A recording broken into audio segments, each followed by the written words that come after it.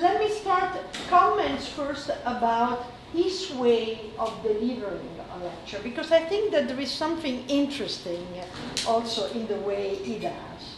Um, you notice that um, um, the way he delivers his lecture tells a lot about his approach to history, I think, Jacques, the cultural milieu he belongs to, which is quite essential to understand his way of thinking, and more general about his aims. Huh? So, I mean, I'm always someone who likes to, the obser- to observe. So I observe the way, having been a teacher, a professor for I don't know how many decades, to uh, try to observe his way of doing. Um, it is in a way, in my opinion, very personal. It's very much Jacques Lucan, as I know Jacques Lucan, but I have to say it's also very European. Jacques enters directly into the theme of his talk. Hmm? From the very beginning, he is in media res. Hmm? There is no transition between the slide of the title and the topic. He's not looking for any mediation. He don't even use the art of rhetoric. He don't even read the title of his lecture. I mean, right there, the first image. Plus, and this is something that I think it's even more uh, interesting, but it's also a big, big difference between the Anglo-Saxon world, that it's not only a performing, performative attitude, but it's a way of thinking. It doesn't offer any key to understand how his argument will develop and how the same will be taken to the end. Hmm? It doesn't start saying this lecture takes into account this and that and that, and this is how I'm going to. Plus, there is always an open end. You realize there's always an open end. It's not that he doesn't reach the end, but he leaves an open end. Okay, let's see his lecture on organic and texture, texturic. Uh, Jacques made it very explicit. I don't know if you remember. He said at the very beginning, I offer you Frank Lloyd Wright, here's the picture, definition of organic.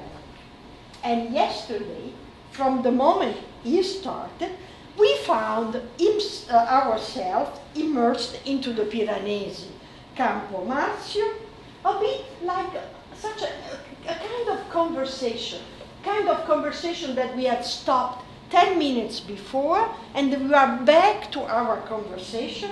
He is operating in a continuous narrative.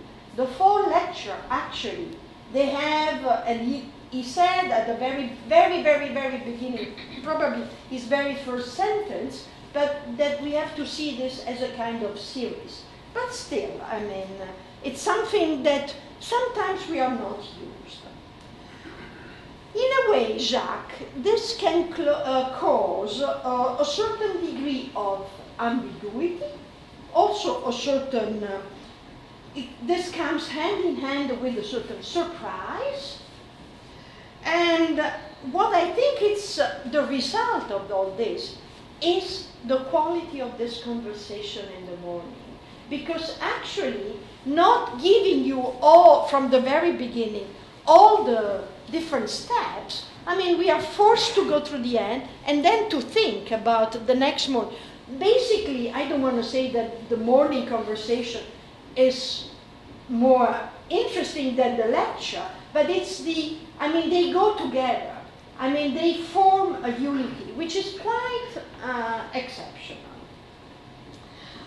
um, in fact uh, the it was only during the Q&A period yesterday that Piranesi's Campo Marzio, um, it was clear to me that Piranesi's Campo Marzio stands next to the Greek Agora, the uh, uh, Roman Forum, the Imperial Fora, I mean, the Nolli plan, I think it's a bit of a sidetrack, but it's there. So here they are.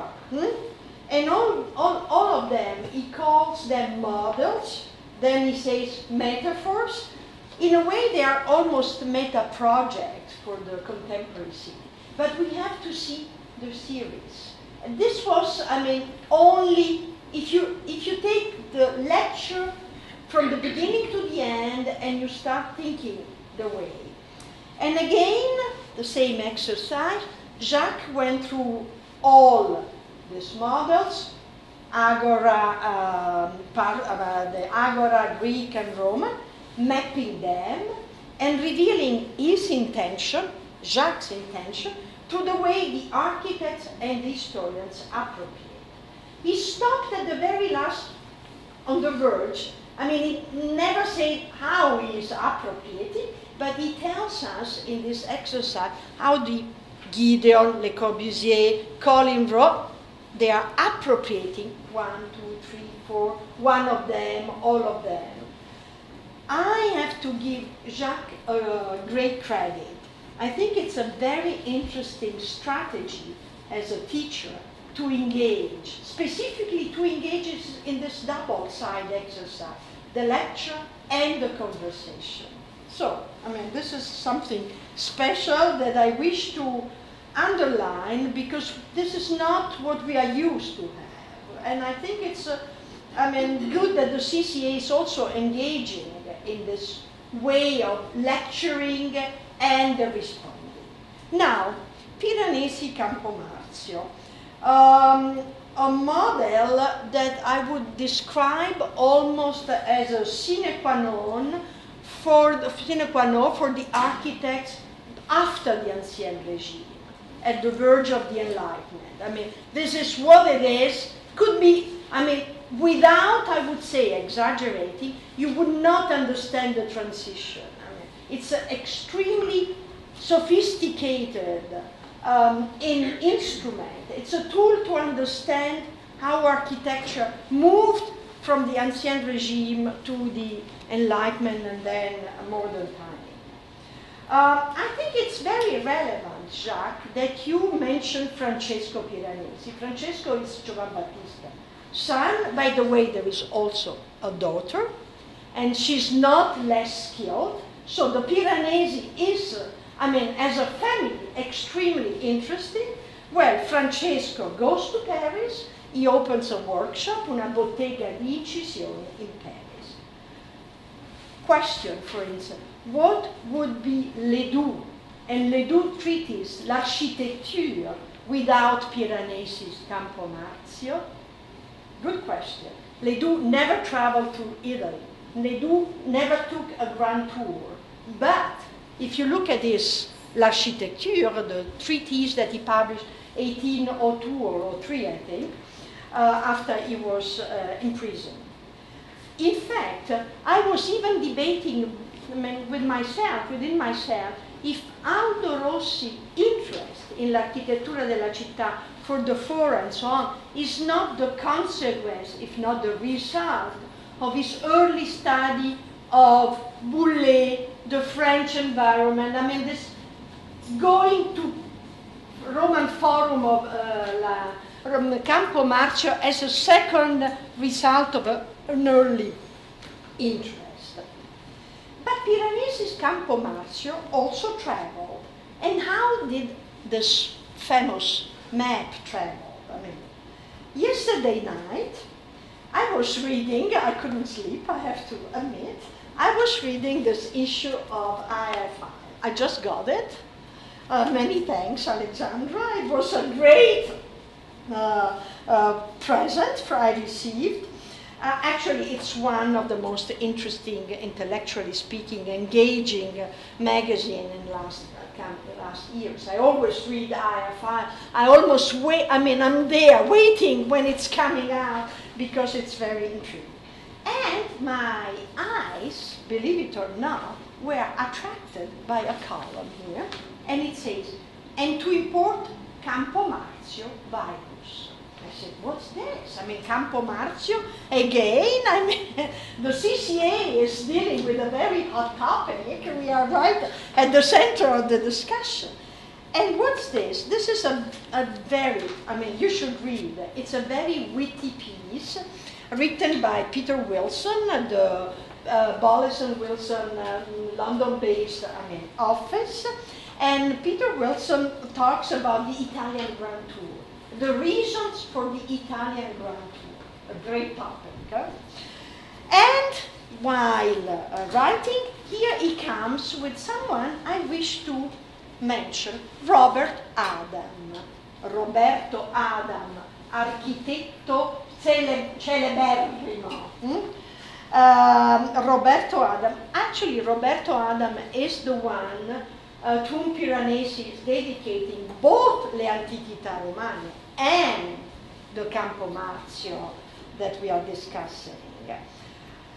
When it was finally published, uh, 62, uh, James, who is Robert, uh, Robert, Roberto Adam, Robert's brother, what he did, he dispatched to London apparently something like 60 kilos of plates of the Campo Marzio to give it to his brother pro- promotional, believe it or not, sale in England. So this is like something you need to have, I mean.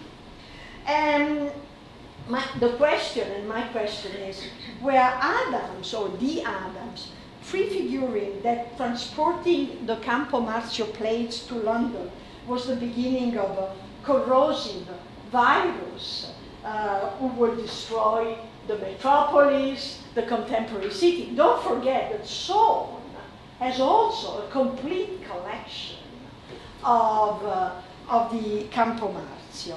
And in this, I mean, I stop there here, but in his um, uh, writing, uh, uh, uh, Peter Wilson, in, at a certain moment, of course, he goes back to Manfredo Tafuri, uh, the sphere and the labirinto. And there is one thing that I wish to, I mean, leave you also, because I see that this will be the topic of your presentation. Manfredo Tafuri always insists, and I know what I don't know what Jacques thinks, that the Campo Marzio is both a project, it's a project, it's a reinvention. What you see there didn't exist. Piranesi and Roberto Adam walking to the Campo Marzio. Campo Marzio is not the Roman Forum. Campo Marzio is not the Imperial. It's a different area. There were traces, but this is basically an incredible invention of architecture. It's a project. It's not only an archaeological excavation, it's an invention of a city. And I think this is what makes the Campo Marzio such a, an extremely um, uh, uh, relevant uh, document to trace, I mean, the, the, what comes before and after the Campo Marzio. And Tafuri speaks, you mentioned he writes, the triumph of the fragment, of formless tangles of spurious organisms, a magnetic field jammed with objects, a typological negation, a semantic void. But what makes, I mean, even more interesting, that at a certain moment, I mean, this becomes, I mean, according to uh, Manfredo, also a way, I mean, um, to not to be any longer able to engage with history. It's a labyrinth of history. And the architect then have to reinvent the, the city in this, in this case. So, I mean, this was a very interesting discovery of late yesterday night. I wish you read, I mean, Peter Wilson, that it's quite um, entertaining anyhow. And now, I mean, uh, considering Jacques' reading of the Campo Marzio, at this point it's clear that it's the watershed between before and after. Uh, how are we dealing with the presentation? Who is chairing? Who is starting? I will start. Jasmine, and then you move. Yes. Okay, go ahead. We are prepared to know much better and more about the Marzio. Um, maybe we need uh, another day to prepare for your. Oh, no, no, no. Come on, go ahead. Okay. Um, so start by um. I will start by proposing to focus on Campo Marzio. And uh, since we spoke so much yesterday about Rem Koolhaas, and since he is now um, the uh, Biennale, the Venice Biennale, I thought of maybe um, doing something, doing a small exercise uh, like the one of the Biennale, going back to the fundamentals, but rather than going back to the architectural fundamentals, going back to a more urban scale fundamentals. Uh, focusing on the Campo Marzio as our um, background layer. And so I will go through that and I will uh, go through a process of zooming in and uh, proposing fundamental elements of urban scale through the Campo Marzio. It's a exercise, so feel free to jump in. Um, so this comes from an interest in um, the small text that we got uh, um, as, as an explanation of what the lectures will be. And uh, our discussion started before, uh, before having the lecture.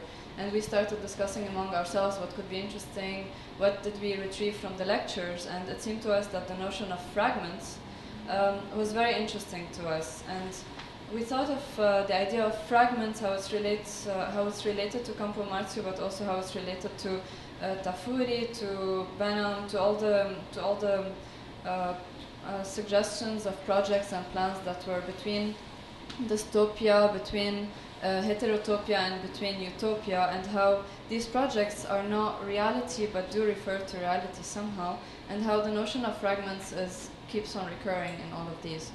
Um, so the first element um, that I would like to talk about is the notion of fragments.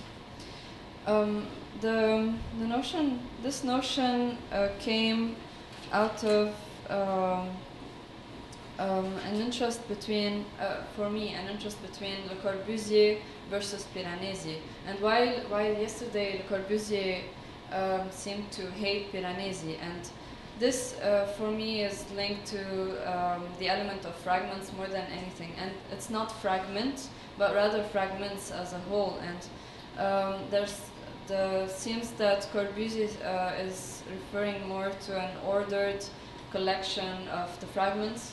And um, Piranesi, uh, according to Corbusier, is just putting uh, an assemblage of disordered fragments together. And it seems that uh, all the discussion yesterday went in this direction of is it ordered, is it disordered, is it controlled, is it a laissez-faire attitude? And the whole discussion, uh, and this is why um, we kept going uh, back and for, uh, for back, backward and forward between uh, what is ordered, what is disordered, and so that's on the notion of fragments. Um, in relation to that is an idea of defragment.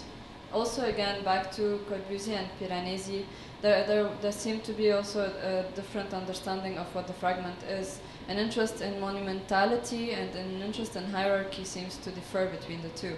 And uh, whereas Piranesi, the elements are uh, not monumental as is, but uh, they, they gain their, their hierarchy uh, as, as being one of many.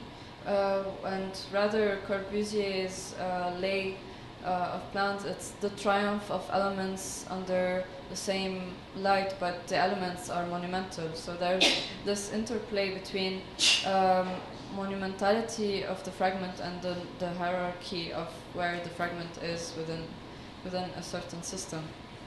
So that's the second layer I would like to introduce. The third layer is the limit itself, and this we did not touch upon yesterday so much, but I believe that um, the idea of limit comes very much in, in relation to um, a, a more a, a, period that came perhaps after Piranesi, where the where the limit is, is more more important than than the fragments, and then the collage and the, the montage and the assemblage uh, become three different approaches to um, to gathering the fragments because the the um, the limit is carefully or not put uh, in order to de define uh, where the how, how the different fragments uh, are linked together. And um, here we see that um, the limit is um, in Piranesi, for example, you see here that there's the river, there's the piece of the fragment, it's a clear cut. Um, on the other side, there's not such a clear cut, but it's, it's, so, it's a sort of gritty uh, pattern, and the whole thing is kind of matched together. Um, there does not seem to be a certain coherence in, in, in this collage, but if you link it to um, if you link it to the whole idea of um, the triumph of fragments, and, and there seems to be a triumph of fragments, whereas the fragments become more important than their borders, and the collection becomes more important. Um, and zooming in more is the notion of interstitial versus liminal. Um, I make a distinction between interstitial and liminal, whereas interstitial is more a focus on the space in between and the space itself and how it functions. And liminal is more on the liminae, which uh, which is the border and how the how the space is more uh, a focus on its border rather than the space itself. Um, this takes us back to many um, many uh, current um, projects, but also many uh, projects of uh, Rem Koolhaas of Peter Eisenman, where interstitiality, where nothingness, where void becomes interesting. We also touched upon it yesterday. And um, the whole idea of uh, what is the void, what's the value of the void, and how the void could be either um, a space separating or a space connecting. And then, uh, if we, if you think of, of all the examples we got yesterday from that point of view, we realized that there are there's there's some uh, projects that focus on this void as being the most important things. For example, uh, Rem Koolhaas imagining nothingness. He he clearly sets the the focus on on these spaces rather than focusing on the fragments and the element and the the notion of collage and. And um, so there seems to be another perspective from another element, so and goes in this direction. Um, finally, uh, zoom, a bit of a zoom out from the interstitial is when we look at uh, all of these interstitial spaces together, we realize that one of the major um, critical points of yesterday's discussion was that many of the um, of the projects uh, and um, utopias presented yesterday um, were very much um, going either in one direction or another, going into orderly or going into disorderly. And and having we have seen a lot of the uh, figure ground uh, divisions where there's either a focus on the on the ground or a focus on the figure. And uh, sometimes the the ground was the void and sometimes the ground was the figure. And and so the this interplay of black and white seems to be um, and that's my kind of conclusive point of, of yesterday's uh, presentation is that we spoke so much of dichotomies um, and putting this, uh, these dichotomies into black and white um, divisions and um, I think we should just stop talking about dichotomies. I think there's there's really um, a very wrong, I would say, um, approach to, to, the, to, to the problem. And um, since we are discussing these, this one versus that one, this one versus that one, and how Piranesi is against, um, and how Tafuri is interested in Piranesi, how Le Corbusier is not, how there, there seems to be um, a very a great focus on dichotomies and um, the gray scale uh, that should that is always apparent um, in, in the way we deal with voids and interstitiality and borders and so on, um, provides a much healthier uh, way of approaching uh, yesterday's problem. And if, if we shift the focus towards um, the grayscale and going back to the idea of, um, I think, um, the idea of the man and the crowd and how there's triumph in the crowd rather than the man, um, we, if we think about it from a grayscale point of view, um, the, the whole idea of, of what is the assemblage and what, where is the crowd in this assemblage gives a different uh, notion on all of the elements that we have uh, seen so far. And therefore, interdependency that we have spoken on on, on many. Levels and yesterday and the day before, the, the notion of in- interdependency um, uh, becomes uh, much more intricate because it touches upon the, the layer of the formal, the layer of the assemblage, but uh, the, the layer of what we see, what we perceive, what we experience, the phenomenology, but uh, at the same time the program, the, the, the interdependency of the various elements that I presented today, the interdependency on the gray grayscale uh, is the most interesting because it, it, it puts away the dichotomies and focuses on this idea of, of having um, a more interesting notion of heterotopia because we moved yesterday a lot between utopias, dystopias, and heterotopias. And maybe the most interesting in, in this in this scale maybe is heterotopias from a grayscale point of view. So heterotopias being an alternative of the reality, yet presenting uh, a non-ideal way of dealing with the reality and having all the all the layers within that. Um, yes, Do we want to stop uh, or do we want to two and two? How do we want to do? There is a connection. Okay, so go ahead. Ah, okay, okay. So let's do the connection. Huh? Okay, okay, go ahead. We move the letter.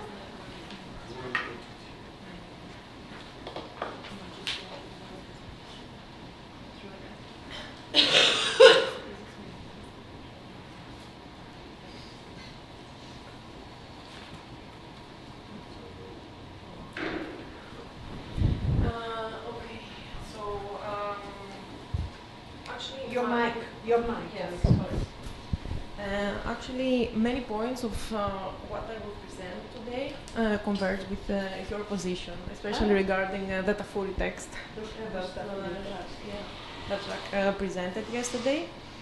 And I was in general trying to take advantage of this, um, um, let's say, discussion of fragments, both in regards, both regarding in, uh, let's say, construction of uh, historical, of a constellation of historical narrative, but also the material ones that construct the, spa- the space of the city. So uh, I will have a couple of uh, fragments of thought, of interpretation of uh, the project uh, Campo Marzio, and let's say some responses to uh, yesterday's lecture. And I would like to first begin by reiterating uh, some ideas that has been put forward uh, regarding this zooming in, zooming out, the multiple scales that uh, Campo Marzio actually functions, the many ways we can approach, we can read, we can analyze it. And what immediately came to my mind regarding this operation of zooming in was um, Richard Hamilton's um, uh, People Multiple, a work of uh, 1968 which uh, he begins in the top uh, with a top image of uh, UK Bay, where it's uh, let's say uh, it's a place of leisure for a specific class, and if I'm not mistaken, it's the Whitley Bay. So we are, which is very close to Newcastle. So we're talking about working class, but uh, I think. Uh, we have to keep in mind, of course, that Hamilton uh, uh, experiments with a completely different medium. So it's not exactly the same, but I'm only talking about and discussing the operation of uh, zooming in. And uh, we see here uh, uh, this place where each figure becomes the part of the crowd. Actually, the figure merges uh, with the ground, as because you were mentioning again a figure and ground and uh, it, it's let's say this place that it's occupied by this amorphous uh, lamp of uh, generic people. And i think that hamilton then is trying to proceed uh, with uh, this uh, process with succession of zooming in to and try we might say that he attempts to maybe approach this individual make it more clear liberate it from this merging with the crowd. But of course here the enlargement actually doesn't work that way, but it rather uh, instead of enhanced and yeah, enhancing, sorry, it actually undermines all these uh, initial uh, intention. Uh, so uh, to use uh, Hal Foster's words when describes this work, the technical limits of photography might prompt us to consider the ideological limits of representation.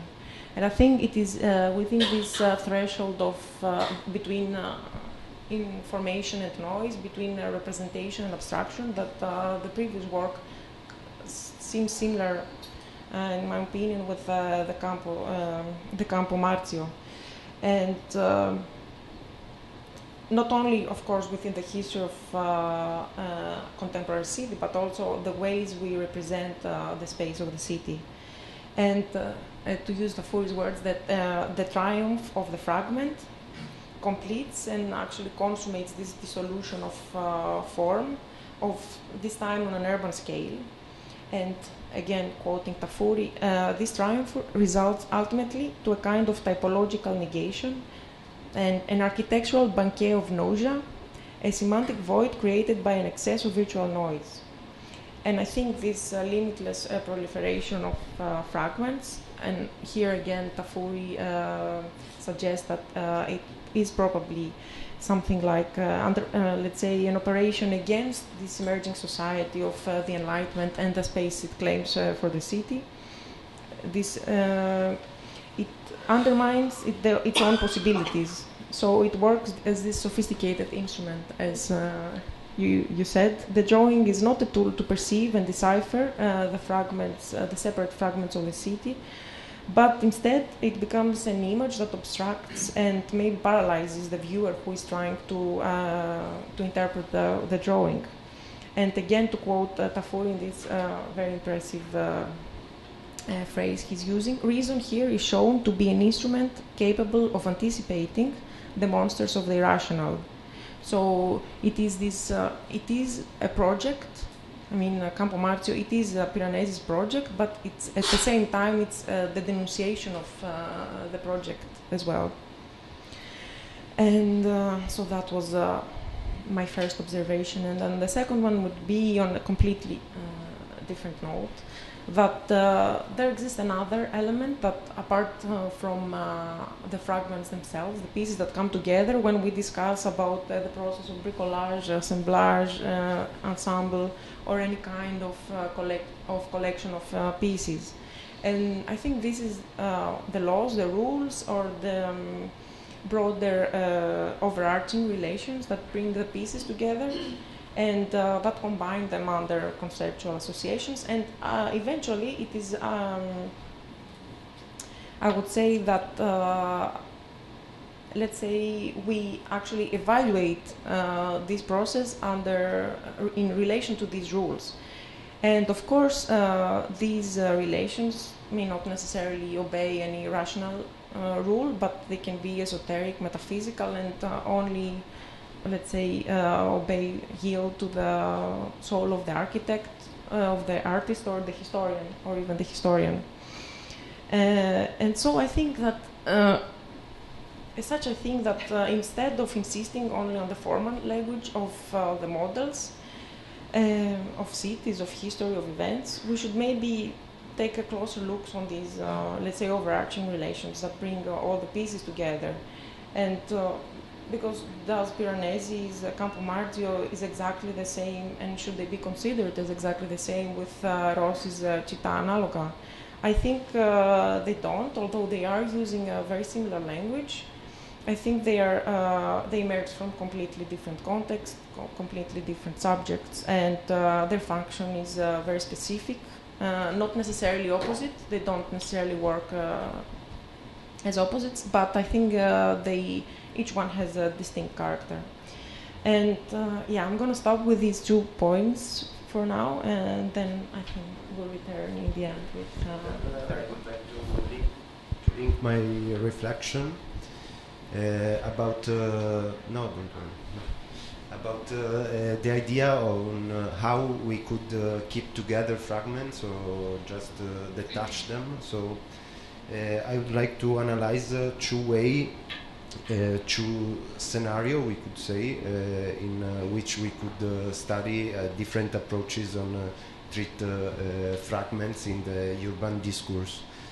Then uh, we should uh, contextualize uh, uh, the um, idea of fragments uh, in the urban history, we should say, because uh, there's a kind of uh, an alternative uh, appearance of fragment in the history of the city.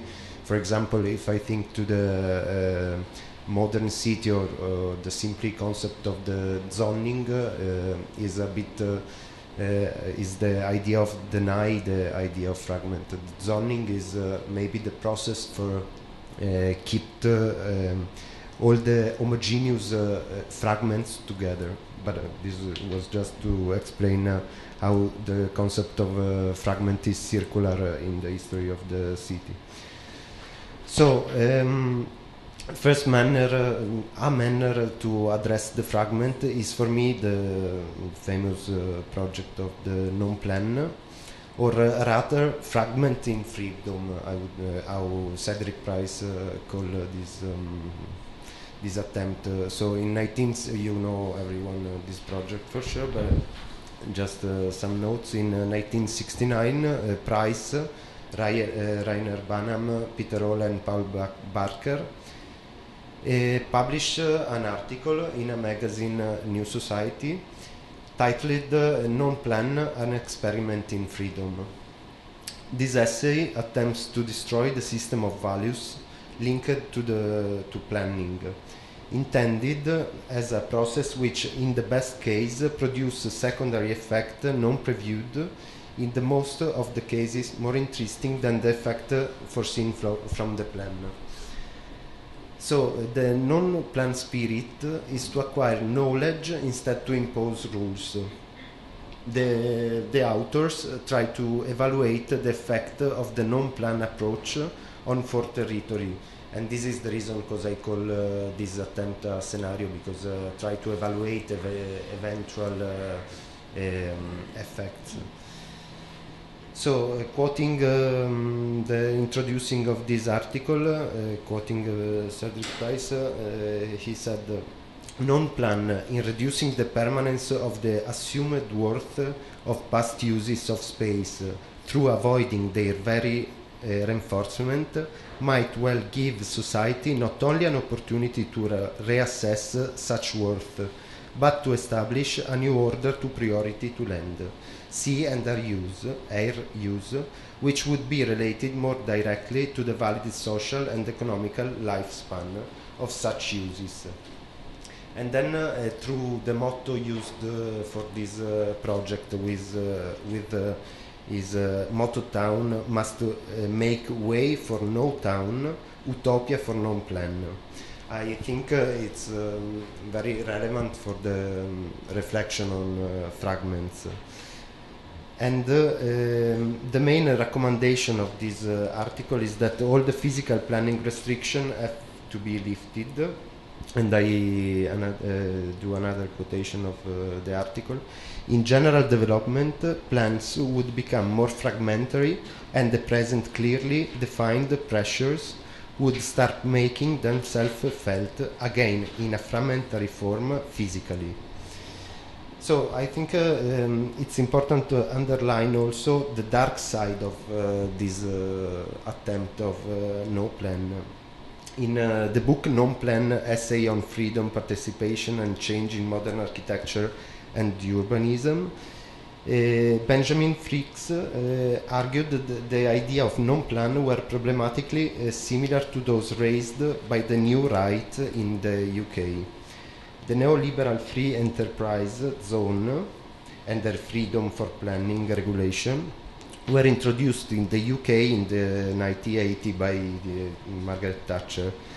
And we could uh, observe also the Canary Wharf uh, realization. This could be seen as a manipulation of the idea of Price, Banham, Hall, and Becker.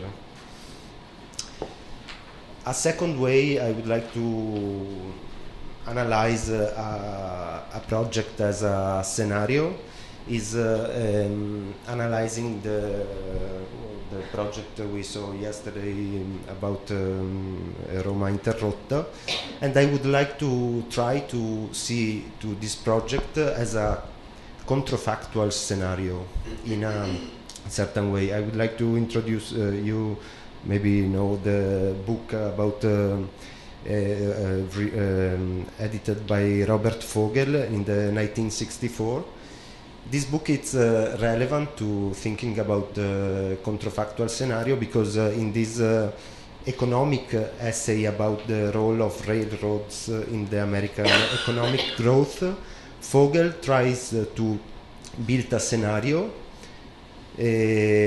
considering the role of the railways. But what is a controfactual scenario? It's an estimate of what would have occurred in a, the absence of the evaluated uh, intervention.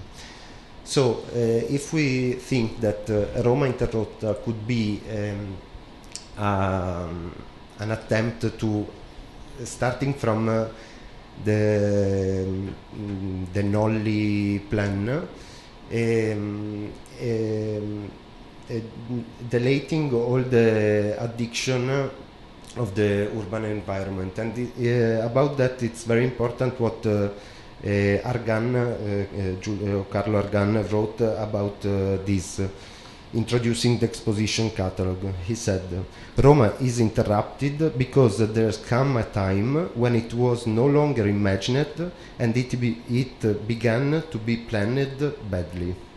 So this is the starting point of the controfactual scenario. And uh, is very relevant what uh, also Colin Rowe wrote about uh, Roma Interrotta. The program for the exhibition was based upon the argument that after Nolli, the urban tissue of, Roman, of Rome had been interrup- interrupted. That is, that something assumed implicit in the urban tissue of Rome had become lost. In other words, since nothing very important in Rome had happened between 1748 and 1870, the ex- exhibition one was uh, an ostensible critique of urbanistic goings on since the overthrow of temporal power of the papacy. Many of the participants, I think, failed to understand the message. So, in the um, I want to uh, go a bit deeper on the um, Stirling um, part, Trastevere area, and uh, um, try to. you had a great picture. Sorry. You had a great picture before. I think everybody was curious. Ah, yeah, no, I, this is the in, yeah the opening of the exposition with um, Portoghesi at the center. No, just because I put this picture because I think was a, a relevant moment for the cultural life in Rome, so the was strongly linked to. next to Moravia. Yeah, yeah, sure, sure. Okay, go ahead, sorry. Sorry, no, I just want to conclude uh, with the uh, kind of uh, the layering of this uh, controfactual scenario. Try to understand uh, which element could be, uh, which uh, fragments could be considered the, as a homogeneous uh, fragment. So, for example, the first layer uh, Stirling introduces the highway lay, la- layer, the infrastructural uh, ecology, we can call it, and then the addiction of the outwall um, buildings. Then uh, he called this um, the building you can see on the right side uh, the fragment uh, uh, building. Uh, clearly, he took uh, um, projects from his own production as a model to impose in the Nolli's plan.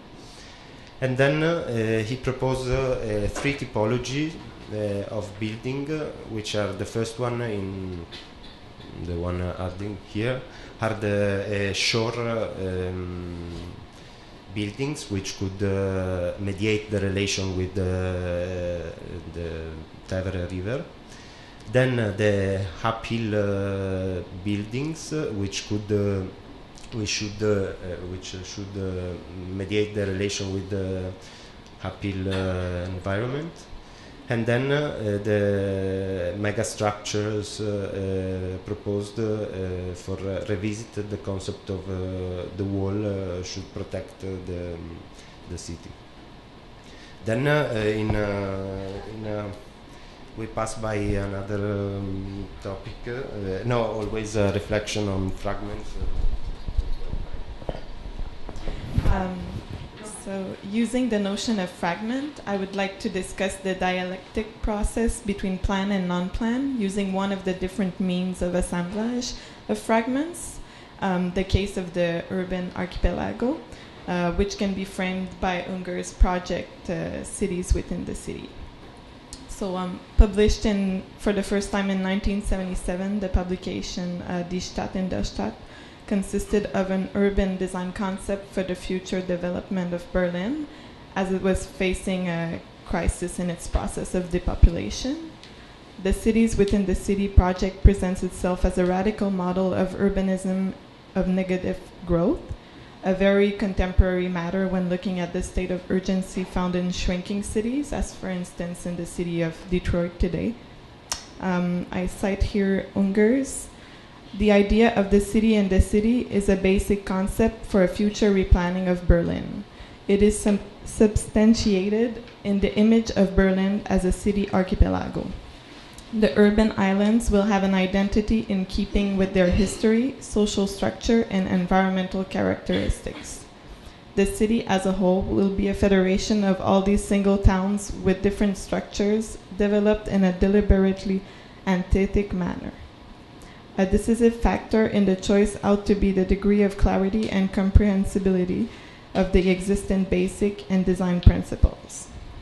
Um, we would interpret here the islands constituting the archipelago as fragments of the city, which would all, um, on which insist Ungers, have their own identity specific to their historical continuity and uh, specific context. Um, I would like to focus on the notion of the green archipelago brought by Ungers, uh, which can be seen as the binding element between the heterogeneous entities, um, so the sea between the islands. Um, in his thesis number seven for the proposals by the Summer Academy for Berlin, Ungers described uh, the green archipelago as follows.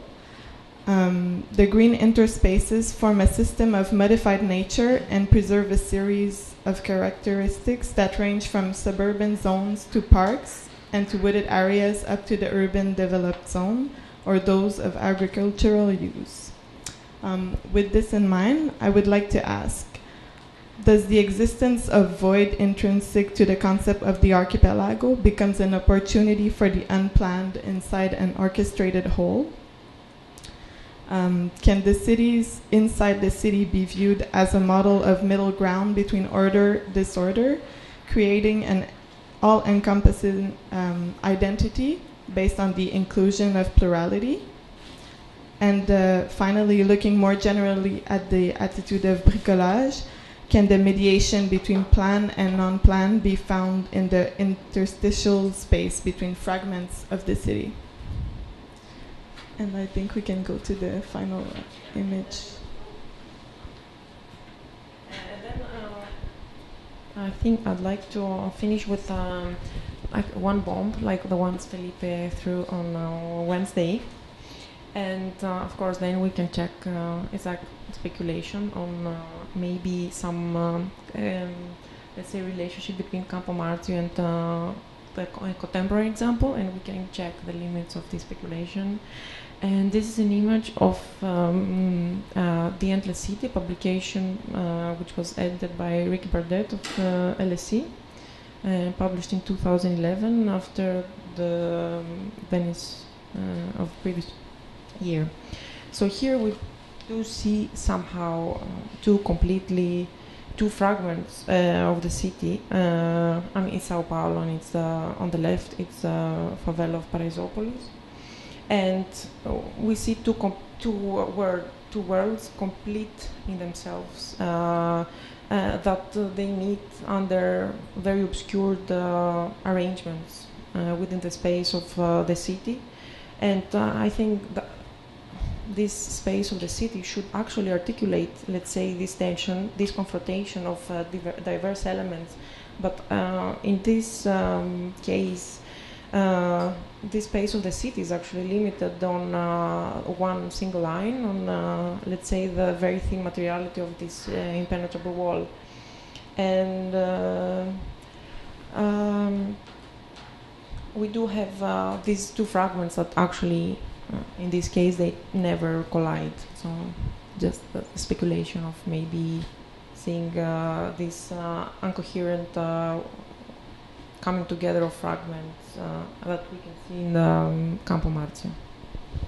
Okay, very good.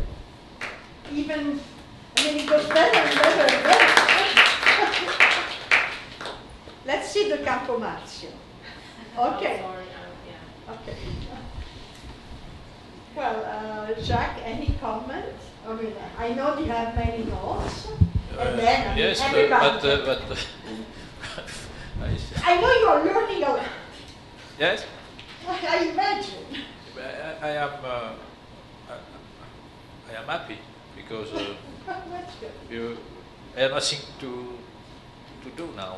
You you you, you have. Uh, no, you continue the. the the thinking about this uh, this plan and all the, the the problem of this plan and uh, I, I I am uh, very very uh, yes it's a, good a good work because uh, for me uh, the lecture uh, of yesterday it's it's not a, a success because I, I made this lecture but because you you, you, you continue to as a reflection about this.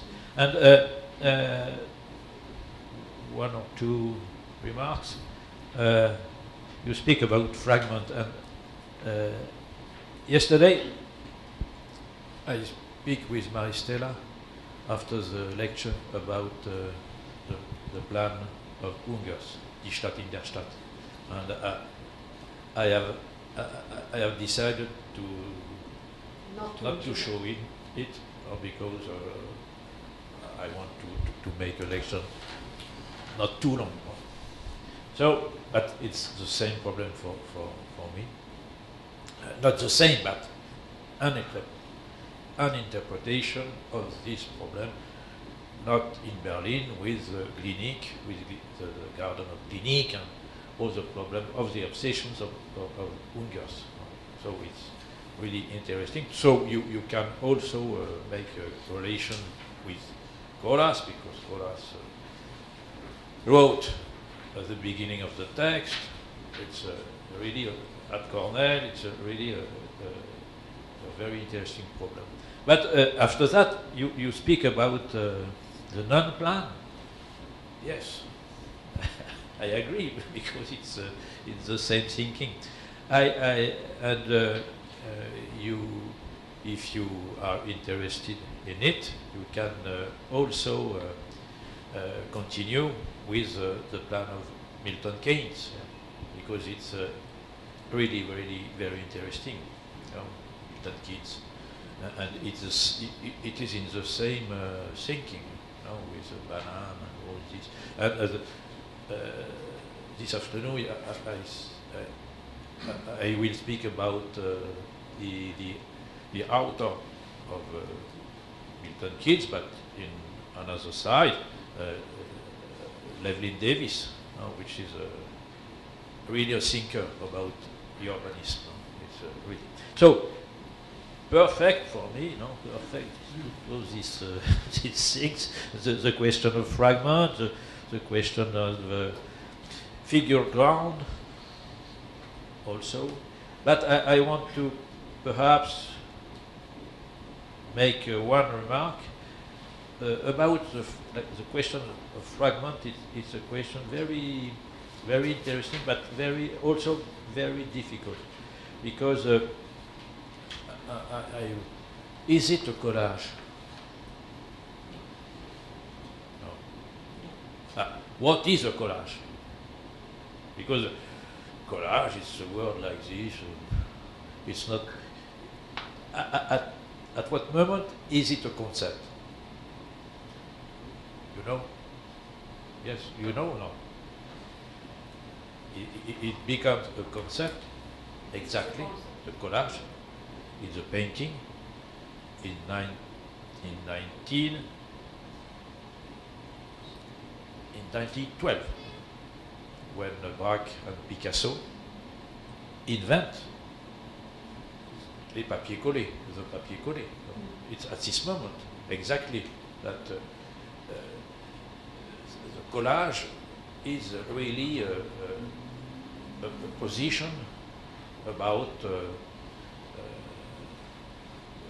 about the, the, the association of different uh, ob- different object or different papier paper no? uh, put on not on the canvas but on, on the on paper in the first time and after on canvas no? and the, the papier collé it's we speak after that we, we can speak about collage because but uh, the, the the relation between all the pieces uh, try to, to, to make an, a balance an equilibrium.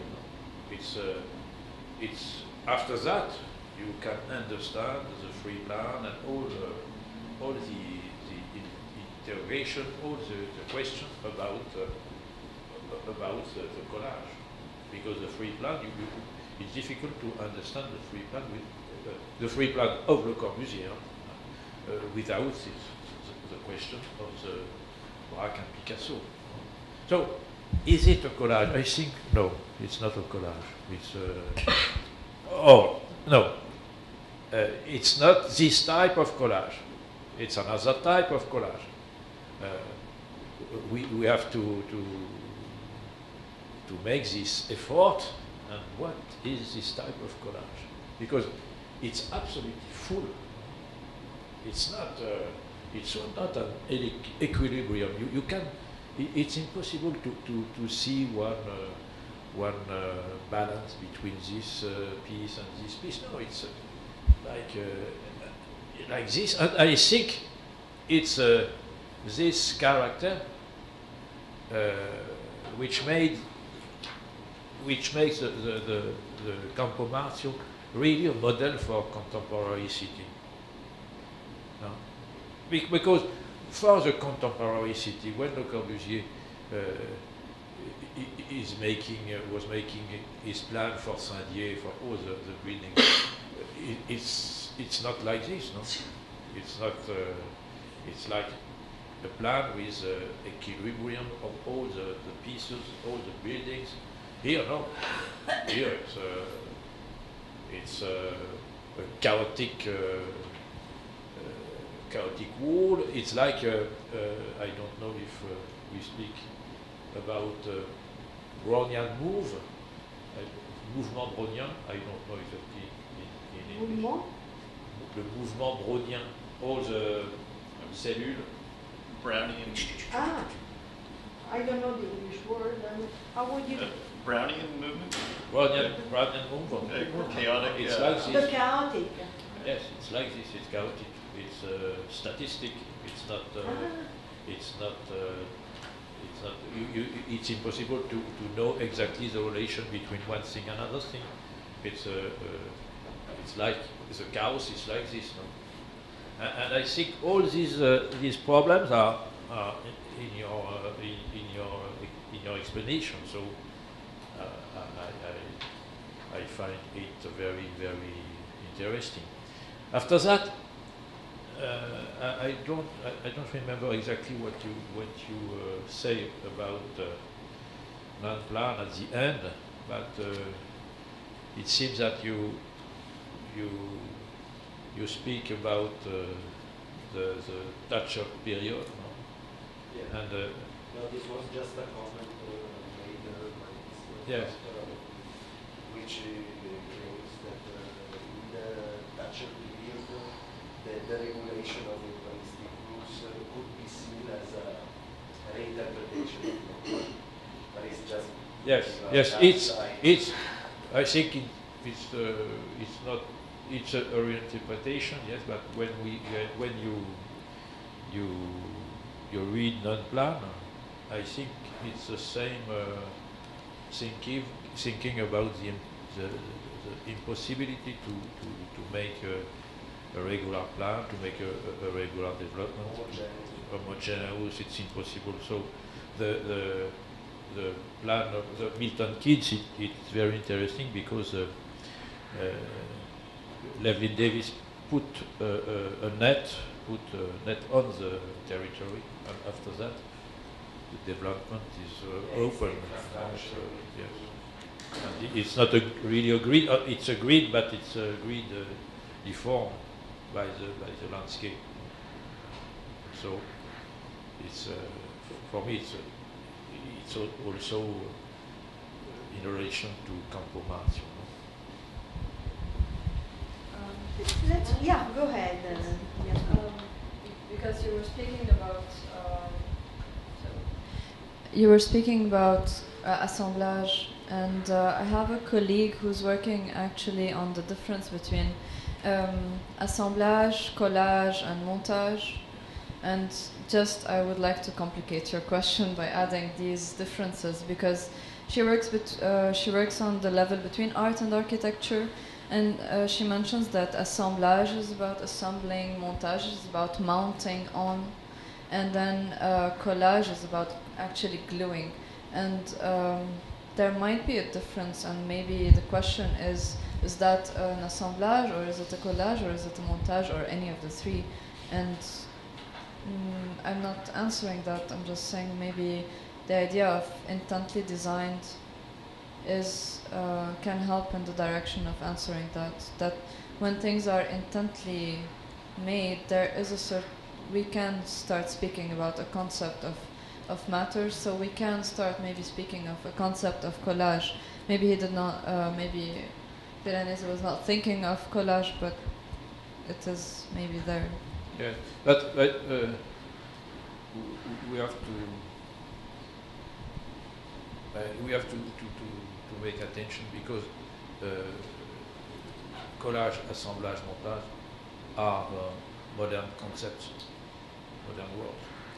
No? Because uh, when we speak about, uh, I don't know, Robert Adam, Robert Adam or, or Piranesi, they, they, they don't speak about fragments, they don't speak about collage, don't speak about assemblage.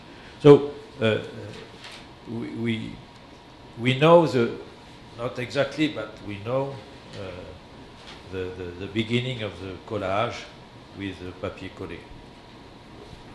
And I I speak about it because uh, we know it, but at this, but because at this moment uh, something, an, op- uh, uh, an operation in, in the painting is called collage. Really. So at this moment, collage uh, became a concept. What is a concept? A manner of uh, operating, a manner of uh, producing a canvas, a manner of uh, thinking about the balance, of thinking about uh, the, the, the heterogeneity in, in a canvas. When uh, Picasso take, I don't know, uh, papers of stacking papers or all these materials and, and put in on the canvas. It's in relation, but uh, I, don't develop, but, but it's in relation with the question of material of the first lecture. But uh, I leave it, I leave it behind. It's too too complicated. But after that, I think assemblage, it's a, a concept a little blurred.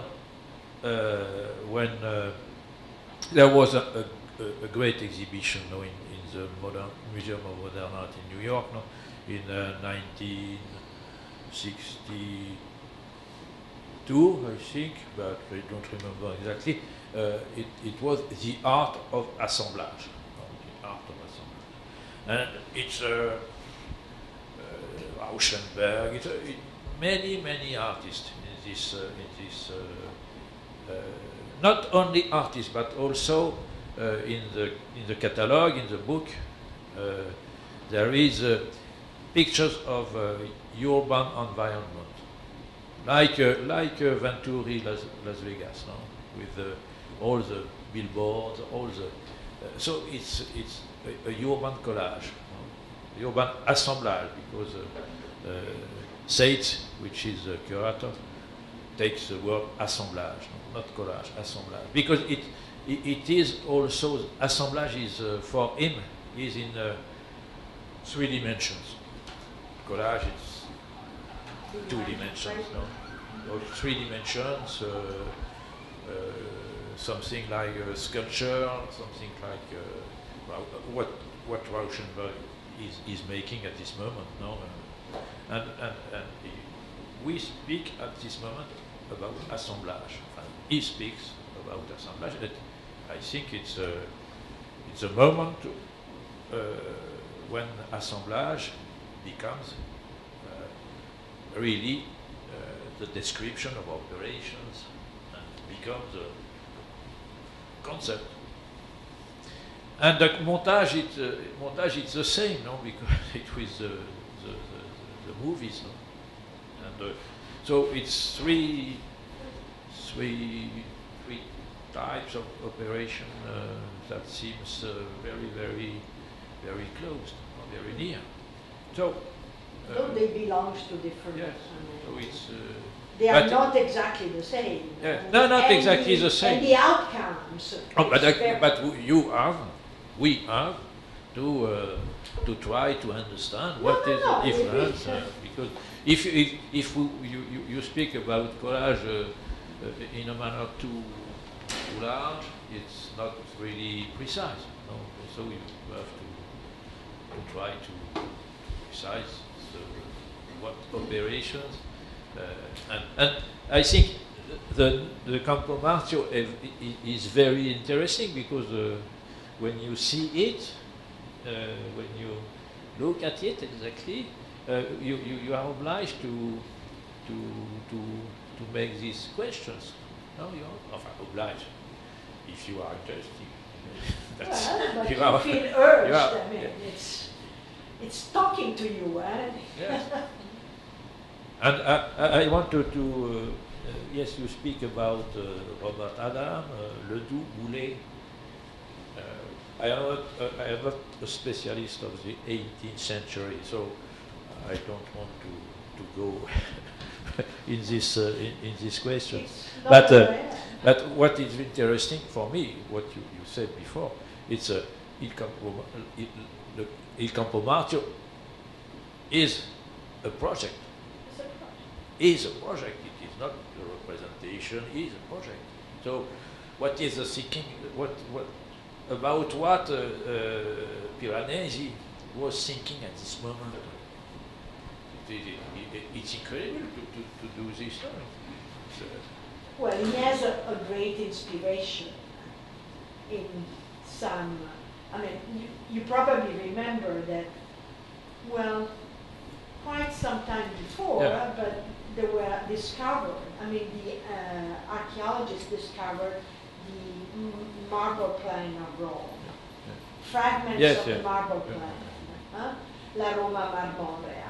To see, I mean, uh, traced on a marble, um, all these lines, red lines uh, of the Roman Fora, that was the Fora building. I mean, gave probably this idea that how do I draw the plan Yes. of a city? I mean, what is the plan? And how, I mean, I- and, and I, I agree that Jasmine came in with this idea, I mean, of the void, I mean, the liminal, um, uh, and the interstitial, I mean, because it's all overlapping, I mean. And I think he had some good inspiration, Piranesi, in doing this exercise of designing. I mean, it's a project. It's not innocent, but it's a project. And now I have a question for you, because well, you say Corbu, I mean, not Corbu, hold on, Jeanneret. He's young, eh? He's not Corbu, he's Jeanneret. Jeanneret doesn't like Piranesi. Well, you say doesn't like, I mean, he prefers Pirro Ligorio, the the plan of, Rome, no, not the plan, the representation of Rome. There is a big difference, Jacques, between a representation of Rome with scattered uh, pure forms, this is Pirro Ligorio, and the intellectual, not at all innocent project of uh, Piranesi. How much the young uh, Charles Edouard is intellectually prepared to read all the layers of a project like this. I mean, he needs to become Le Corbusier, he needs to become, to go to Salier, I mean, reach the point of Salier before having, I mean, the skill to go through this process of Piranesi. This is my understanding. While Pirro Ligorio offers a ready-made, offers the ready-made pure objects. They are there in front of him. It's, uh, I don't want to say that it's easy to understand, but it's already made. I mean, you have the cylinder, you have the pyramid, the, the, the pure volume and huh? I think that, I mean, it's not what, he, uh, if he likes or if he doesn't like, it's at what time in your process of growing, of developing of your intellectual expertise, you become able to penetrate this almost impenetrable uh, project of, Giovanni Giovan Battista Piranesi. I think the Campo Marzio is the biggest project we have received in a way, without exaggerating, but it's so deep and not innocent. I, but, but perhaps uh, Le Corbusier uh, saw the, the, the Campo Marzio plan when he was uh, young, when he, he was in the, the, National Library in Paris, mm. because he, yeah. he, he, he take uh, many, many books and uh, it would be interesting what he's and reading. He, you know, when when he was in the National Library, he, he makes uh, drawings, the calc. Yes. Uh, he, he, he, copies, he uses a, a tracing He copies uh, uh, some uh, some drawings, not but not uh, Piranesi. No, but I mean, you know the problem. I, I, the point is, what's the source of Pierre uh, Charles Edouard?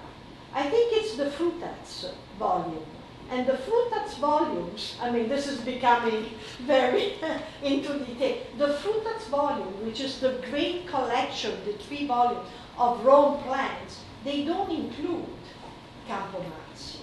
Yes. Well, why they do include Pirro Ligorio, the round Rome, and so on, that he's referring also in their Rinascimento.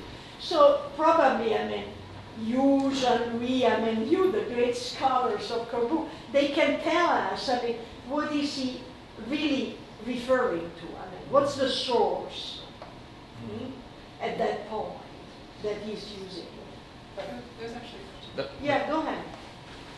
I was, I was wondering when you talk about innocence, and we have talked, we have talked a lot about, about design, urban design, and but we haven't talked about the reasons behind them. When you say not innocent, not innocent, I'm always expecting you to talk about politics a little bit because we, when we see collage, we see behind it a reaction to political hegemony. A little bit like when you talk about the chaos, we see an anarchist approach uh, to architecture. Are we avoiding the subject because it's sensitive, or is it because it's not there, or can we talk about it? Because I'm curious. I'm really curious to understand the approaches of both of them, of Piranesi, of Le Corbu, uh, all of the the others too. Uh, Christina. So you mentioned politics, but I want to bring in economics too. I mean, I, I, um, and Jacques, at some point you said, well, it's not, it's not possible to make a, I think, you know, homogeneous plan, but of course, so I, I study um, socialist cities, and it's absolutely possible to make a homogeneous plan in a planned economy. And I think this, this issue, I'm very, I'll have to go back and read this non-plan um, article because I think this issue of the plan non-plan is is absolutely the issue in the contemporary city in the post-socialist world right now. Because um, under a planned economy, I mean, it's all regulations. And um, and so a very kind of you know precise and directive urban form can be made. And in the post-socialist condition I was just in Baku, Azerbaijan, so former socialist republic, and they have just in 2014 or just now finally um, coming together with a with an urban plan for the city. Uh, the last one that they've been using is from 1986, and so like in this in this kind of void of regulation, the non-plan has has been what's happened. So these um, kind of towers in the park, microregions, these you know hyper rational um, urban forms have been plugged in with speculative development. You know, the, the economy, the market economy is ahead of regulation. And, um, and so I think, you know, talking a little bit about the politics of the city or the economy of the city and and finally, I mean, even though this is a this is a project, um, and it's easy to kind of, in a certain way, romanticize the esthetics of it, um, I, I do wonder what kind of economic condition would create, or political condition would, would actually create this kind of urbanism, and is it is it, you know, I, I think it's worth talking about that. More comments? Yes. Um, first of all, thank you all for uh, really interesting uh, publications on yesterday's uh, lecture. Um, I want to step back and um, bring up something that you, brought, uh, you mentioned, uh, Maristella, which is the idea that this is a completely uh, almost fake project, um, and the idea that you brought up, which is the idea of utopia. Um, because for me, and, and something that hasn't been brought up so far, uh, but for me, what's really, really interesting about uh, Piranesi and, and the contribution he made to architectural culture, as far as I'm concerned, um, is this idea of architectural fiction, uh, which before him, I mean, you'd have to convince me it existed, because I don't think it did. Um, I mean, there was no, it's not a coincidence that uh, Boullée and, and Ledoux come just after and they start proposing these incredible um, seminal projects, um, influenced by the ideas that he actually uh, proposed. So if we go back to like the, the previous uh, image, if you don't mind, like the overall. The overall, uh, the one you have at the very beginning. Yeah, this one. Oh, yes. So this is a made up, an imagined overall plan of Rome represented on a made-up slab, uh, probably inspired by the marble, um, shown with other uh, fragments, and the whole is etched, and the etching also for us became kind of legendary. So there's so many series and layers of fiction in this very document, embedded, but also later on added on, like throughout, you know, up to the present, and all these sort of narratives about this. Um, and I find that like really, really interesting. And I think also like we need to step out of the whole idea of collage, assemblage, because I think what's going on is much softer and a much more sophisticated in a way operation. The violence of cutting and gluing is not exactly here. It's it's really operating sort of somewhere in between.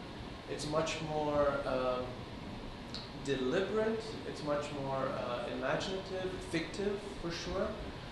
Um, and that's like I can bring it also back up to the present or the very recent past when, for example, in, in when Koolhaas speaks about uh, the surrealist uh, technique of the paranoid critical method, right, in Delirious New York, and which is something that he still works today uh, with today. Uh, the idea that you can actually propose an architectural fiction by using what he calls uh, real crutches, so you do rely on elements of reality. So you would find the Colosseum somewhere here, right? You would find no, the no, never. never, No, not in Piranesi's. Not in the Campo. No, no, but like in, in the in the plans he prepares, right? So he does rely on oh, fragments yes, from Yes, yeah. you have the, the Piazza Navona, the Exactly. But he makes up everything else, and somehow because there are elements that are supposed to be real, we kind of buy the whole thing. Uh, he kind of gives it this sort of really interesting uh, fictive slash real quality. And I find that to be the most kind of interesting aspect of, of this project, of this plan, and how it's been used either as a metaphor or as a tool, as a design kind of methodology um, in, in later works. Um, so I wonder if somebody can sort of respond to that. Um, and again, I think we should really step away from all of these sort of art inspired kind of uh, terminology because I think Piranesi was much more sophisticated and way ahead of what artists did in the early 20th century. Are you going too far in kind of creating your myth? I mean, hold on. The myth already exists. Oh, so um, I'm just reminding ourselves. Can I? Yeah, go ahead. You first. Um, so, um, I was looking at the Piranesi engravings, and it seems to me that talking about fiction and economy and politics, it's it seems that there are um, three-dimensional spaces that are self-obsessed with architecture and um, it's this fiction that is self-absorbed within itself and there's not much an outside in his uh, in his engravings. There's uh, always like you see an opening and in the opening there's more architecture and in the opening there's more architecture. And then there's not much enough space for freedom of um, of outside of freedom of horizon of freedom of seeing whatever is not architecture. And it seems to me that in the plan also there's this massive details of, of All many of things and it's, it's also self-absorbed and maybe the the whole political economical um, discussion it gives is, is a is also a self self-absorbed plan where where you are not really free but you are not really controlled by a system because the system tends towards uh, chaos and and there's such a beauty in the darkness of the engravings that, that the whole that that you don't really want to escape of the system that is tying you down toward in itself. And it's it's so formal it's so architectural but at the same time it's it's it is about economy and and all the um, figures in, in the the engravings are are they are not happy uh, they seem to have a role to play in the system yet um, they, no one seems to want to like make a carve in the in the engraving and get out of it. And the plan seems to tell me similar things.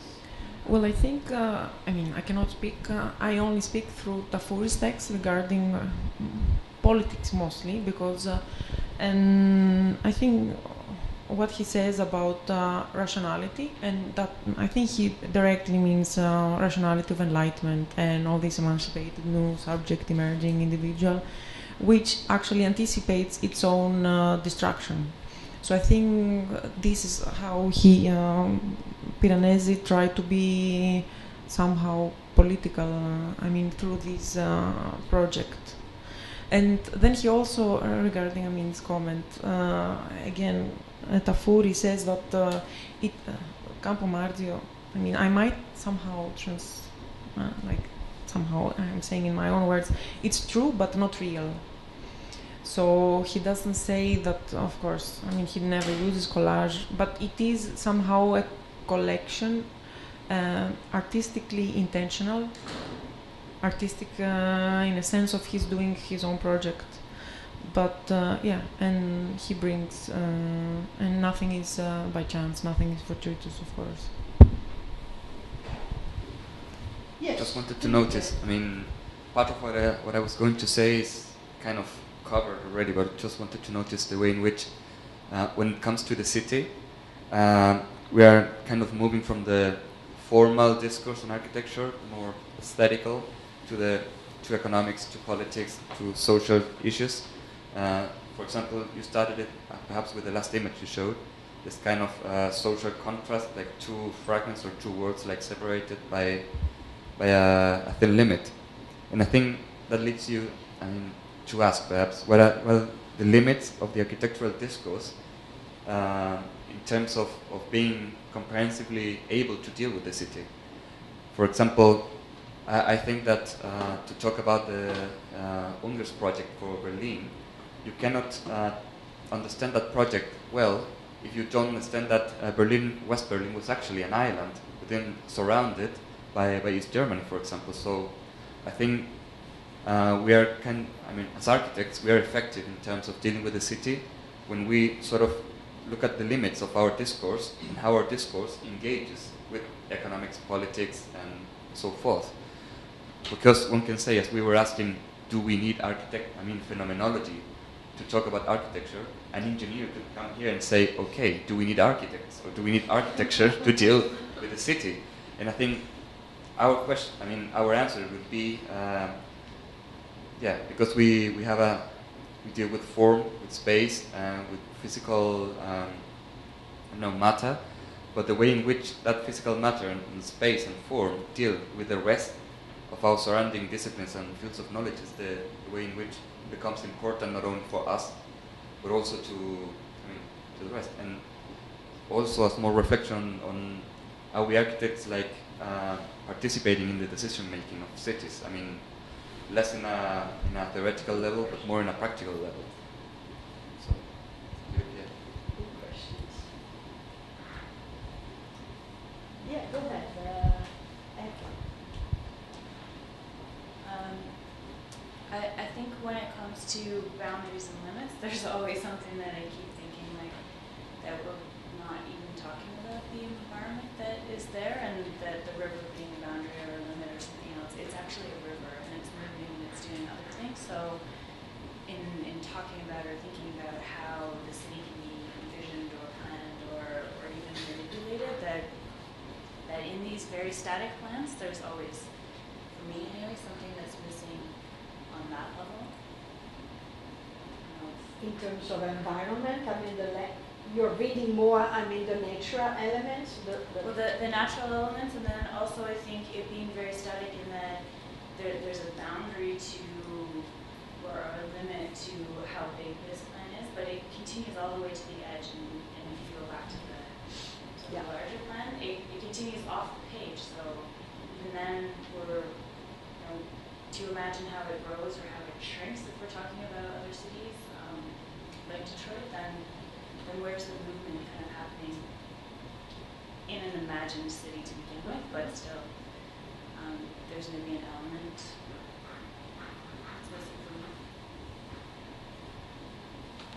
Maybe it's not. Go ahead. Maybe maybe you mean environment and time. The because I wanted to make first a presentation about the notion of time and how all the fragments and so on can, can be discussed and, in how how it changes throughout the period and how it evolves and that's why static versus environment and time and, and transformation because we keep talking about this plan as if nothing before nothing after there will never change. Um, yeah. Do you have more comments? No, no, not really. But see, about the, the question, uh, I don't speak about it before, but about uh, the question of fragment, I- think it, it's uh, for the for the understanding of uh, uh, of architects like uh, Soane, like Ad- Robert Adam, like uh, the Ledoux. I think not Boullée, but No, maybe. uh, all these uh, uh, there are there are there is not no many uh, uh, texts about the question of fragmentation no?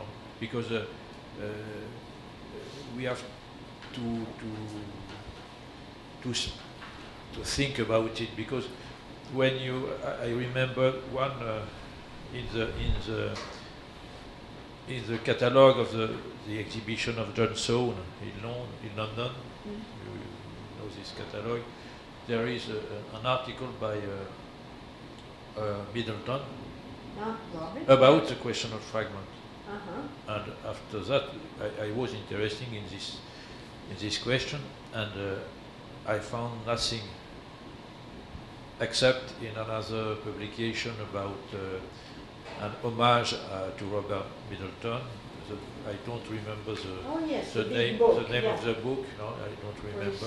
And there is a, in this book there is a, a, an article about the question of fragment. Mm. But I think only these two texts uh, are about fragment, and it's very, very, c'est très très peu. No? Mhm. So there is, it's incredible because it's uh, uh, really, I think, uh, a question uh, very interesting because what, what is the difference between a fragment in the in the Bank of London by Soane uh, and with uh, in a plan by uh, I don't know Ledoux with, for uh, the Saline de Chaux Mhm. uh, and the difference with uh, uh, plan by uh, Piranesi, you know. What what are, I I don't know exactly. I, I cannot say the difference. It's uh, this one, but we, we I think we have to, to to think about it if you are interested. If we are interested in the question of fragment, assemblage, all these uh, things, which are difficult. But I consider a great catalog of fragments, uh, for example, pattern, a pattern language uh, Christopher Alexander, which is this collection of um, pattern in a way, and Yeah. you could consider it uh, as a catalog. But you know, patterns are diagrams. Fragment, I mean, this is something, I mean, ca- No, jumping that's in. very eh? interesting. And fragments are, I mean, are not diagrammatic per se. I mean, they could, but that's not, I mean, I think that the, the concept of fragments uh, is relevant, I mean, for instance, for contemporary architecture. And, I mean, how far, uh, I, I mean, I'm glad that Jacques brought it up, I mean, because it's part of our language today, I mean, but we, I mean, we all come with our own interpretation. I think they also came uh, again in a more recent history uh, concealed with the, by the word islands. I mean, Koolhaas uses, I think, a lot, uh, especially, in, for example, in the Delirious New York and uh, the um, uh, city of the captive globe. Yes. Which is a city of fragments, uh, just uh, uh, as uh, Manhattan-like uh, skyscrapers. You, you can put the, the, The the great one. image. No, not this one. But the, the one you On time. started. Not because there is, uh, it's uh, like this, no, but there is a problem with Koolhaas because uh, when he, he, Oh. when he chooses uh, uh, the part, no, no, no, because it's interesting. I think. No, no, I think he- it's- he- he- I, I think he takes You know. uh, some uh, some part uh, here. here it's not too precise, so I, I, I cannot uh, see exactly. But in uh, really here, I think, no? Not not in the in the center, not with this uh, great building, not but with a with a uh, descriptive. an urban fabric. No, it's really the urban fabric. So it's uh, interesting because uh, why this point? It, shows exactly this one because uh, it's not the same like uh, with all the. You the think that buildings. he's selecting a, generic? Uh, Yes. Yes. uh, I would say more human. It's uh, More human. It's a smaller scale, more human, less monumental, does not follow the columns you see up there, for example. Maybe. Good point. I mean, I never thought which section or which fragment is You speak about Le Corbusier, and uh, uh, I think, I suppose, uh, in uh, whe- when he was young, in uh, 19, uh, 1950, no, he was. So he, he, has, uh, he had the, the idea to, to make something about the construction of the city.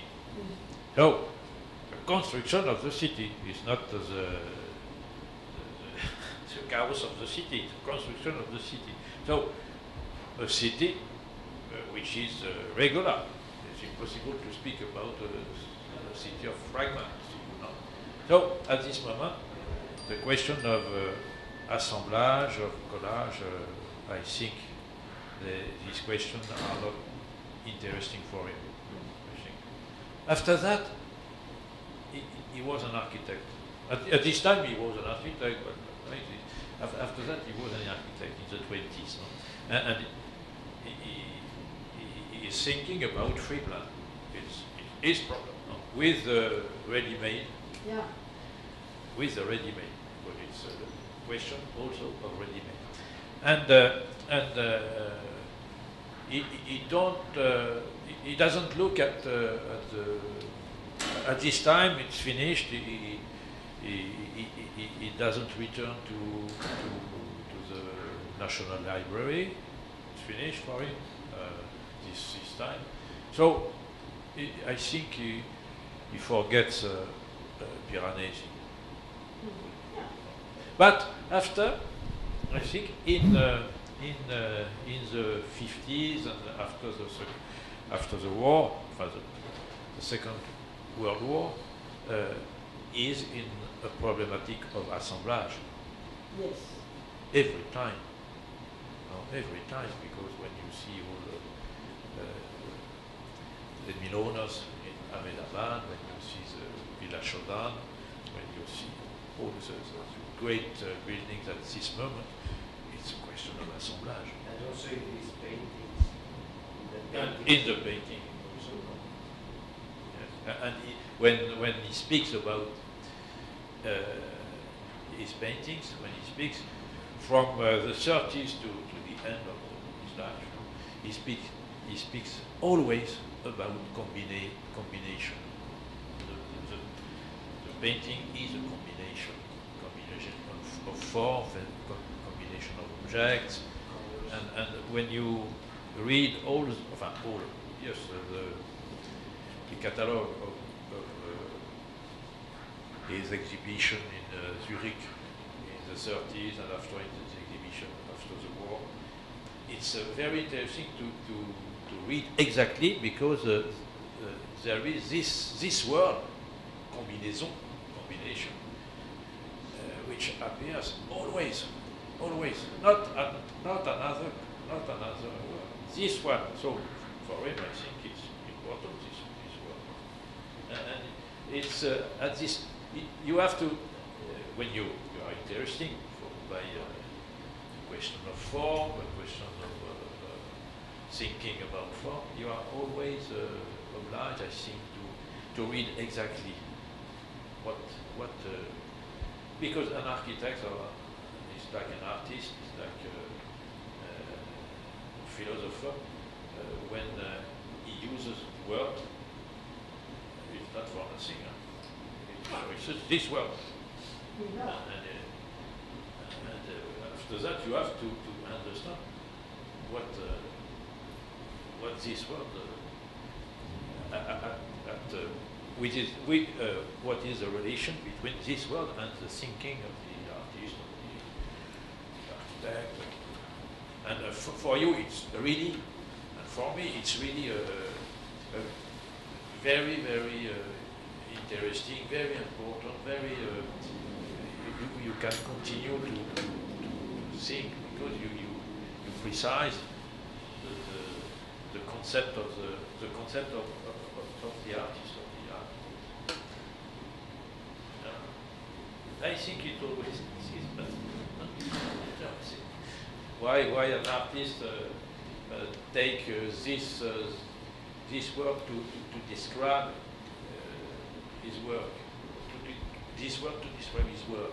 It's not it's not innocent. It's not, not innocent. So Le Corbusier make, uh, made, made this always, always. Yes. And, and not, not the same word, not the same word at, at, for, for all times. Oh. In the 20s, it's this uh, voc- vocabulary, and after that, uh, because he changed also, he changed uh, in, in, in his work, he changed uh, in his uh, there is this issue of politics that remains there, I mean, like, there uh, in the air. Uh, I don't think, I mean, that we can, we can speculate, that this is my idea, we can speculate, but I don't think that gives you so much more now, uh, allows you to know more about the Campus Martius, I mean, the politics at the time. Not really.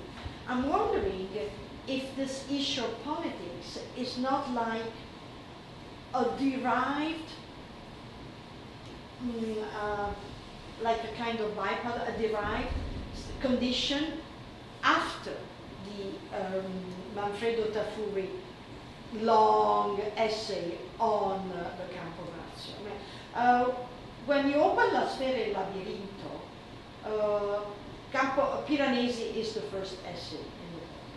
And then the book deals with really heavy political issues, including Soviet Union and so on. Um, I think it's a very intriguing, uh, I mean, implicitly, Piranesi is there and it gets a political implication. Uh, really at the point of, I mean, it's there, it's, it could be any place. I mean, why you do place the, uh, your essay on Campo Marzio at the beginning of the book that has to do with the avant-garde, heterodox, everything else, is because you consider that as a, uh, a stone, I mean, something, I mean, a marking of something.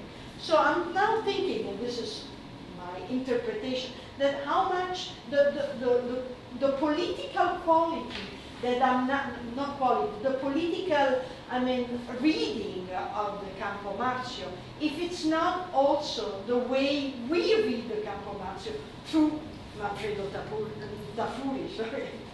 Yeah, I mean, before the French Revolution, really were no politics. I mean, Well, uh, il y a uh, uh, Louis uh, XIV, Yeah, it's but a that's- totally it's not the way l'ancien régime. Yeah, yeah, it's not we under, the way we understand politics Yeah. today. It's very much like a recent reinterpretation of a lot of these things. We're like projecting back onto them uh, a value of, of politics that we deal with today. So.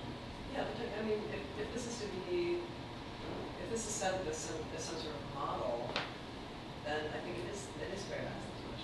Absolutely. But I don't think it's fair to superimpose on Piranesi's intention at the time uh, a sort of political uh, intent.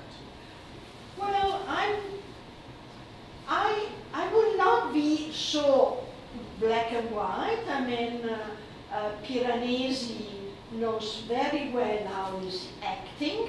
I mean, between the English school and the French academy.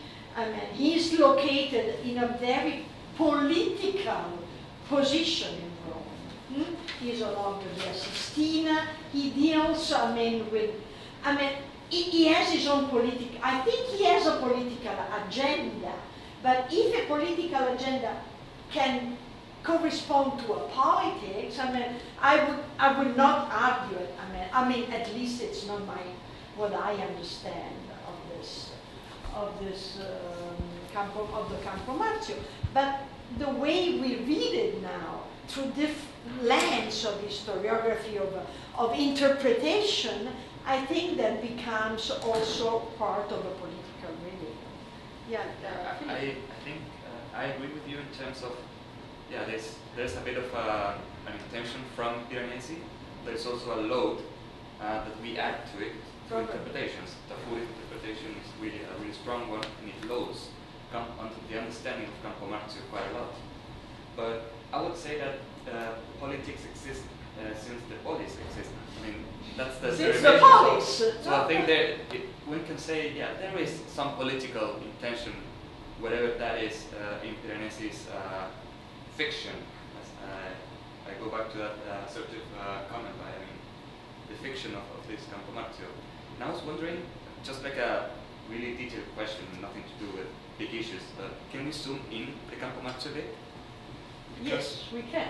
I mean, this is, this, is, this, is, this is from my, my, my ignorance, but isn't he drawing Campo Marzio, at least this uh, particular drawing, uh, as if they were ruins?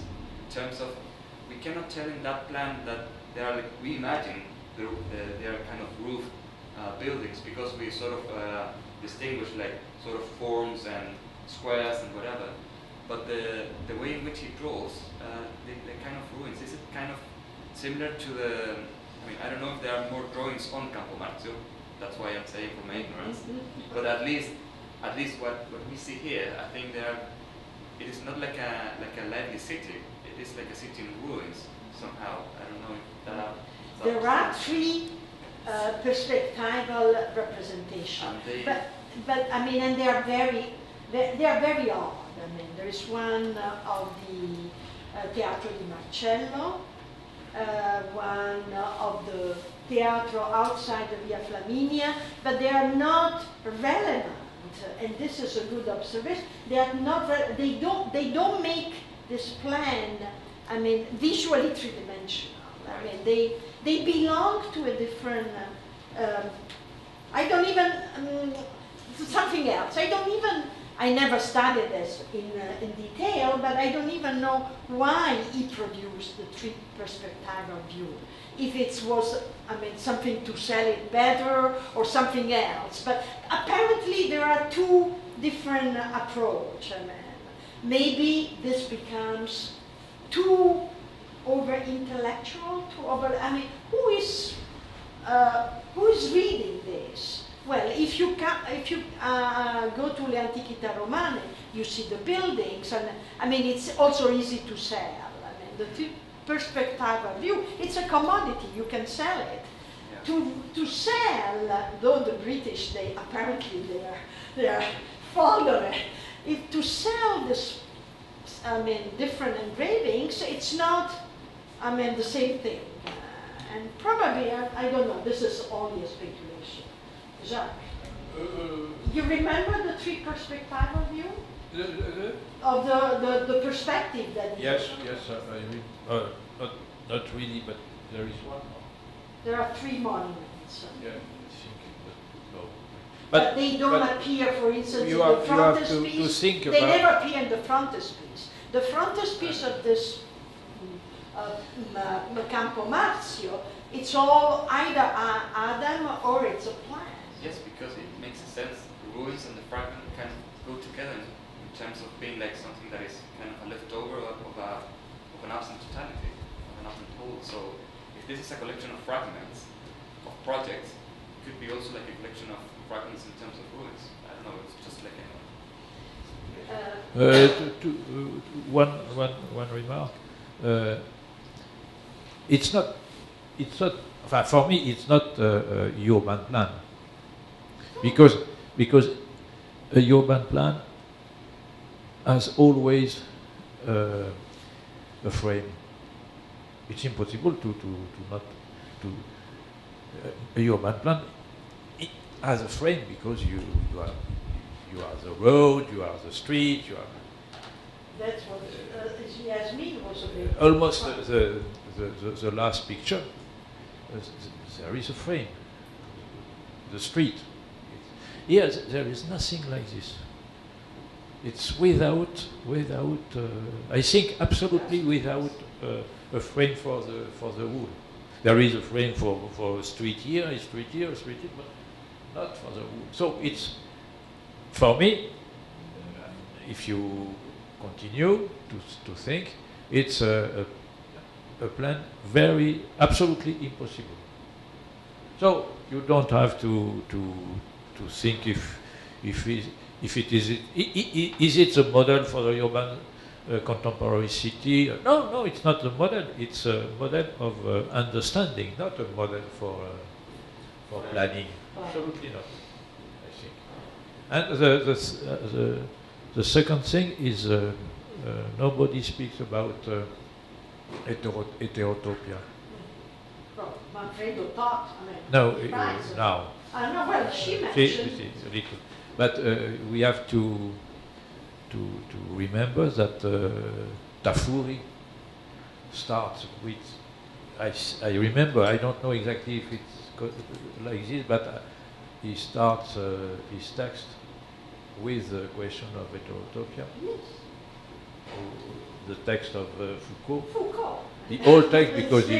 Foucault wrote this text in uh, 60, 67, I think. uh, So, uh, with a, a, a false name uh, in, in the release, the, the review, L'Architectura, no?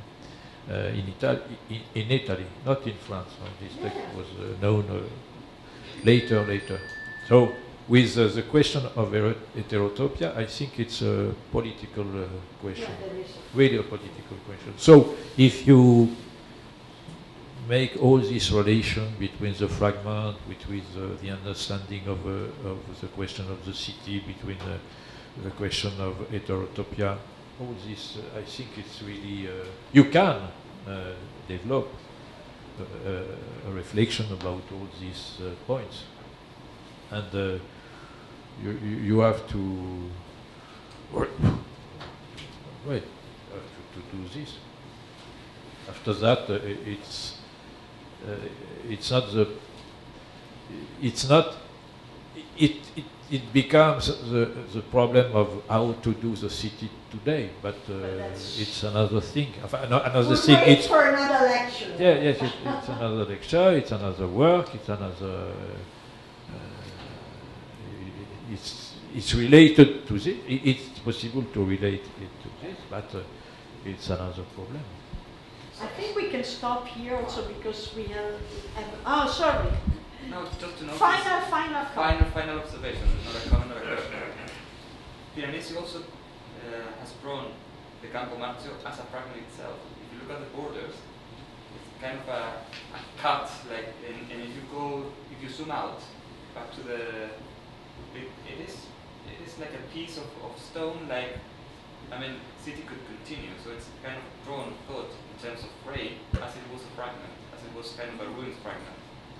And I think the fact that there are some urban pieces, some buildings that are kind of half in, half out, I think it's also an interesting feature of the. I'm pretty, pretty sure that it's linked to the Roma Memorial. in- Yeah. Yes. Develop. Which is Um, okay, we stop here.